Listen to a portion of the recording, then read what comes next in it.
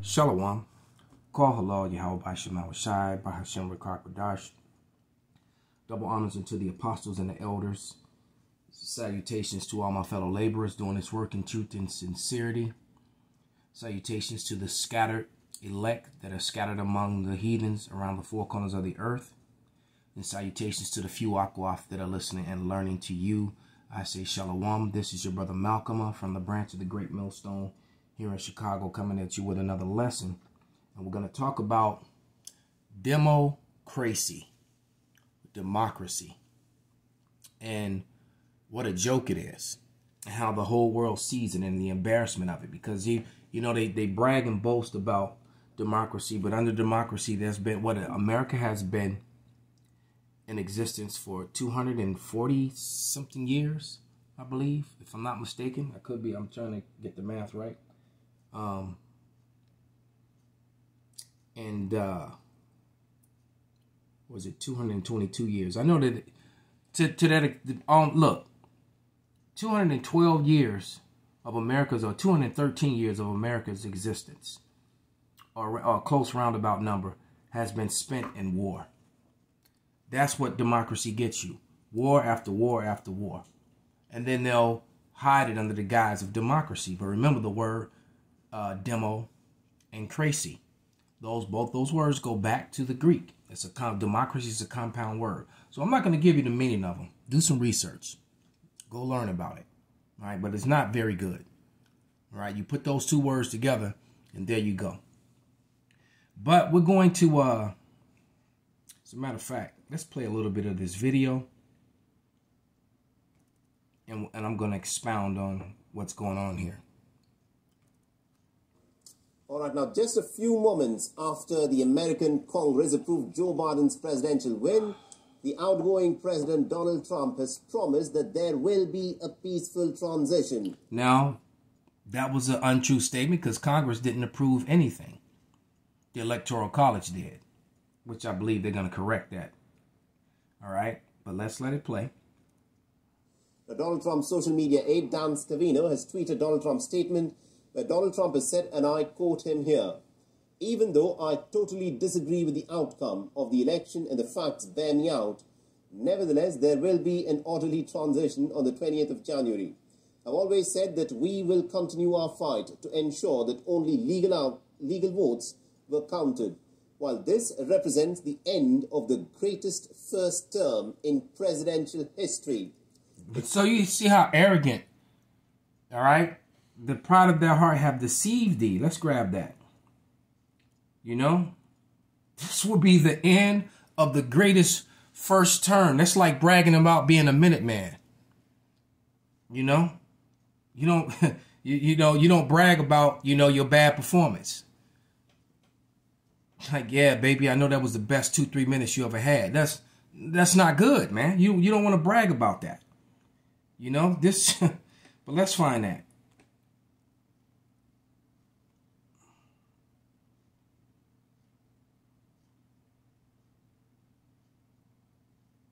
Yeah, this is Obadiah 1 and 3, and it reads, The pride of thy heart have deceived thee, thou that dwellest in the clefts of the rocks, whose habitation is high, and have saith in his heart, Who shall bring me down to the ground? And that's literally how how how how Trump was feeling. Now, there's a couple things that I've heard, and I'm gonna, you know, try and, and get learn more about that information before I talk about it too much. But um but I did see some information that basically stated that this whole thing was set up, that Donald Trump was set up to lead a coup. All right, because the uh, the Patriots are, are are understand and were trying to take the government back from the corporations and the bankers. All right, and that he was the president that was chosen for this to happen on his watch. So they're saying that this is over, and I know it's not because something's going to happen because the, the great insurrection and the, the Civil War has to go forth, and the first shots have already been fired. So this thing is calmed down for now, but it's not going to go away.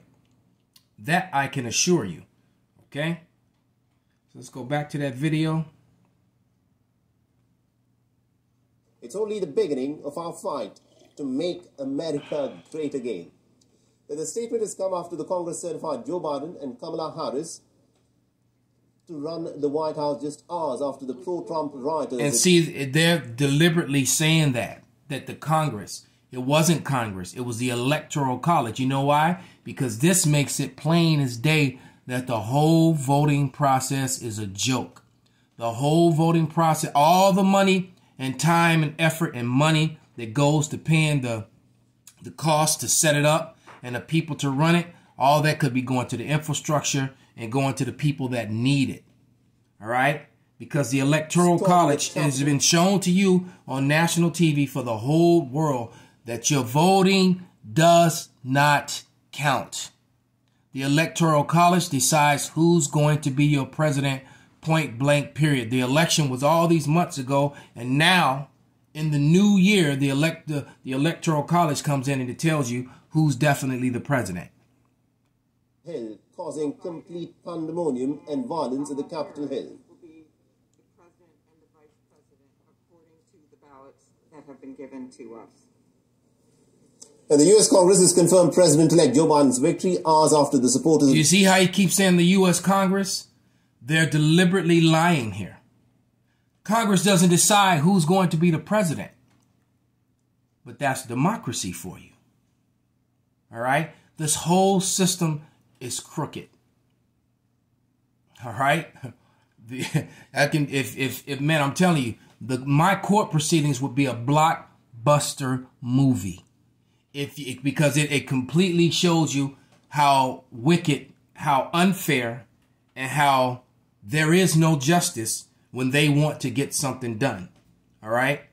And how the courts and everyone involved in the process uh tried to stop and prevent this from happening, even to now. Even after winning, they tried to come back and, and take away the win. So this this so this that's the same. It's all part of the same system. As a matter of fact, uh, but it, he keeps saying now uh, you can't see the video, but I'm reading and I'm looking at it, and it says Biden receives 300 electoral votes, and Trump received I think 242. So why does this guy, why does this broadcaster keep saying Congress decided? Even though I'm reading, Biden receives 300 electoral votes and Trump received 242 and still doesn't disagree. And that shit show was a stain on America. And you heard all these politicians talking about it last night. And the scripture clearly said that there will be shame on your glory. Matter of fact, let's go to uh, Habakkuk uh, the first chapter. I mean the second the second chapter. I'm gonna start at uh, verse one, and it reads, "And I will stand upon my watch, and set me upon the tower, and I will watch to see what he will say unto me, and what shall I answer when I am reproved." And Yahweh answered me and said, Write the vision and make it plain on tables, that ye may run that readeth it. For the vision is yet for an appointed time, but at the end it shall speak and not lie. Though it tarry, wait for it, because it shall surely come. It will not tarry. And we've been waiting for these days, for these events. Um, I've been waiting going on 12 years now. The apostles and elders been a have been waiting double and, and, and the heads almost triple decades for this for these days to come. And they were watching all the signs that were leading up to it. You're talking about patience, man. And, and then you wonder why we give them double honors. All right? Then You got people that complain about a couple years over something. you know? But uh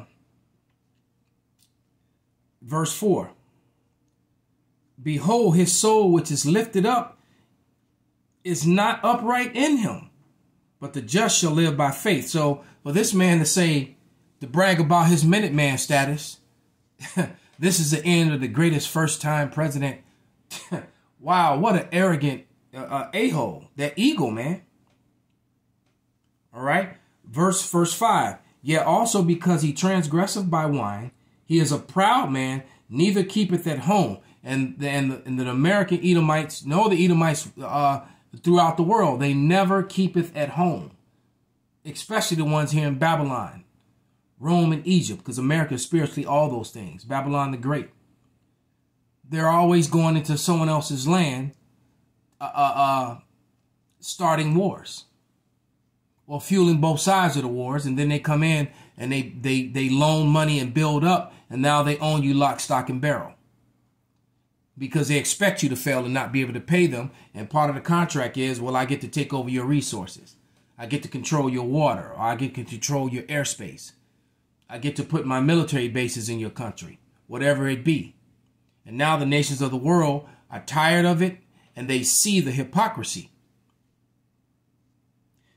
Yeah, also because he transgresseth by wine, he is a proud man, neither keepeth at home, who enlarges his desire as hell, and is as death, and cannot be satisfied, but gather unto himself all nations, and heapeth unto himself all people. And that's that bring everyone together. We're all t- t- together in this, but I'm in charge, okay? That's their mindset.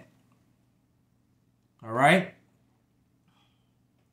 Shall not all these take up a parable against him and a taunting proverb against him, and saying, Woe to him that increaseth that which is not his? How long? And to him that layeth up to himself with thick clay, and that thick clay is debt. America cannot pay its debts, but yet it, it oppresses and suppresses its, its citizens when they can't pay their debt, which the reason why the majority of the Americans can't pay their debt is because of a failing government and a failing uh, uh economy and an unfair and a racist economy and an unfair and a racist judicial system, judicial system that put some, a lot of people in a position where they cannot make money or they can't pay their debts. And then you're criminalized for doing so. This place is wicked beyond wicked and it has to go. And it is falling literally before your face and being shamed before the world. Matter of fact, this is Habakkuk uh, 2 and 16.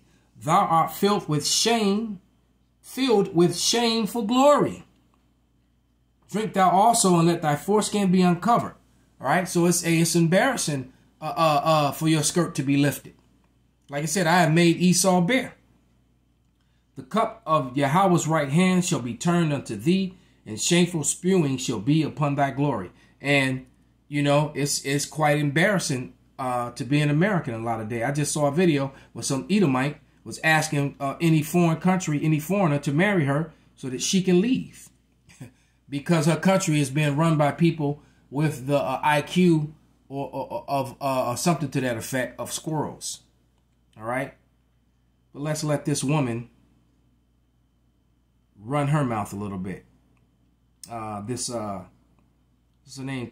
Capri Cafaro. Biden as the victor of the election that took place on the 3rd of November. Now, the question that I want. I essentially trying to say, look, there's no need for that. I will walk away gracefully at this point, whatever that means. All right, but, but the fact of the matter is, Donald Trump has still not conceded the election, although the American legislature has certified Joe Biden as the victor of the election that took place on the 3rd. See, if you, once again, this interviewer keeps avoiding saying the Electoral College. And it goes to show you how stupid Americans are collectively. This man is purposely not saying the Electoral College. All right, over and over again.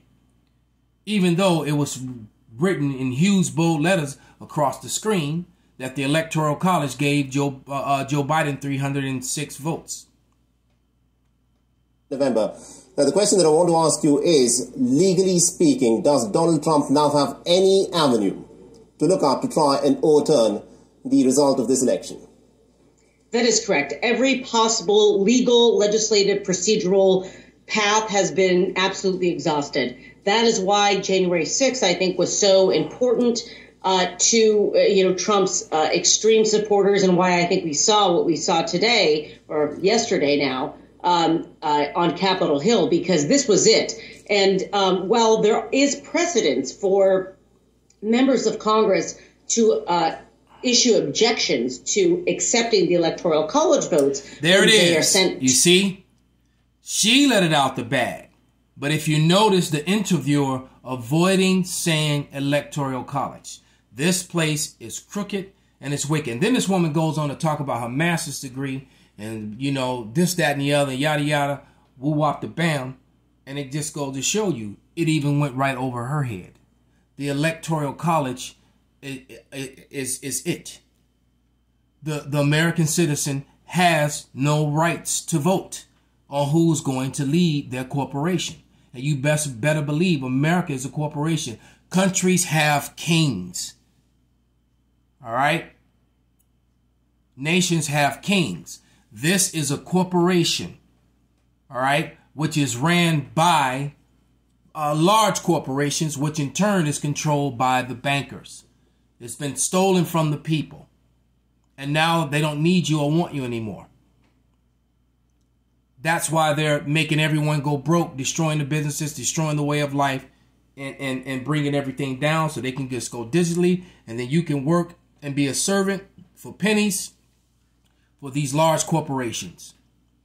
And that's where that information I was talking about that uh, uh, that has been released about Donald Trump and the military with certain military uh, uh, leaders and things who are trying to do a coup to take the government back out of the hands uh, uh, of these elites who have hijacked the government for for you know for these corporations.